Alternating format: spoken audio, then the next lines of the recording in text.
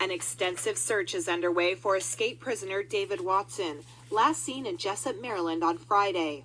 28 year old Watson, who was serving more than 100 years for attempted murder, fled upon arriving by van for a psychiatric evaluation. Um, a guard opened the door uh, after the van stopped in the parking lot, and Watson, who was the only occupant, pushed the guard to the ground and ran into the woods.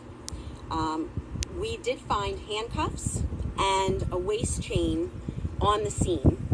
Uh, it's unconfirmed at this time whether or not he was wearing leg shackles when he was secured. Police say he was wearing all white clothing when he escaped, but after finding two articles of clothing in the woods, police say Watson could now be wearing something entirely different. He's described as 5 foot 8, 140 pounds, and is considered dangerous. Neighborhood residents say they'll stay on alert. My doors will be locked tonight. I got a deadbolt. My dogs will let me know if anybody's around. I got a baseball bat. Police are asking the public for tips that could lead to Watson's capture.